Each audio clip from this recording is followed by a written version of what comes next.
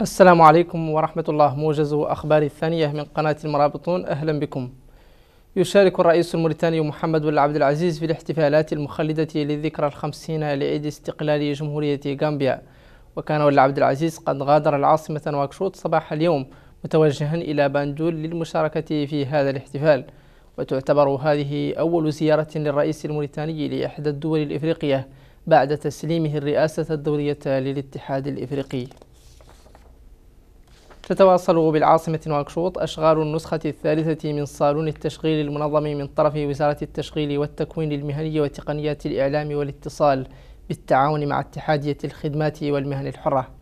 وقال وزير التشغيل والتكوين وقال وزير التشغيل الموريتاني مختار مختار مررجاء خلال افتتاحه أشغال المؤتمر يوم أمس.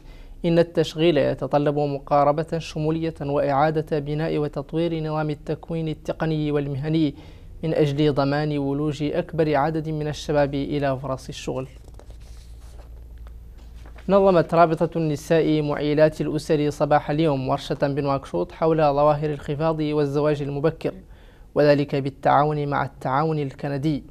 ويقول منظم هذه الورشة إنها تأتي للتحسيس بما وصفوه المخاطر الاقتصادية والاجتماعية والصحية الناجمة عن ظاهرة الزواج المبكر.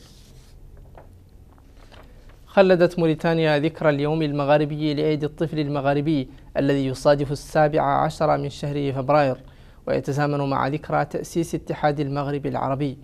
وقالت وزيرة الشؤون الاجتماعية والطفولة والأسرة لمينا بنت ماما إن موريتانيا قطعت بعض الخطوات الجادة في سبيل الاهتمام بالطفولة ورعايتها.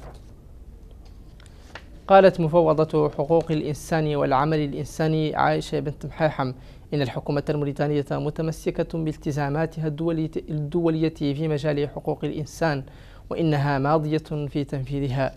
جاءت تصريحات بنت محاحم خلال ملتقى بنواكشوط حول انطلاقة المشاورات الوطنية الخاصة بآليات العرض الدوري الشامل.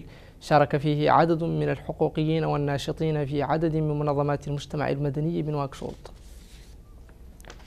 احتج العشرات من العاملين ببرنامج أمل أمام الوزارة الأولى بنواكشوط مطالبين بدفع رواتبهم وتوقيع عقود عمل معهم.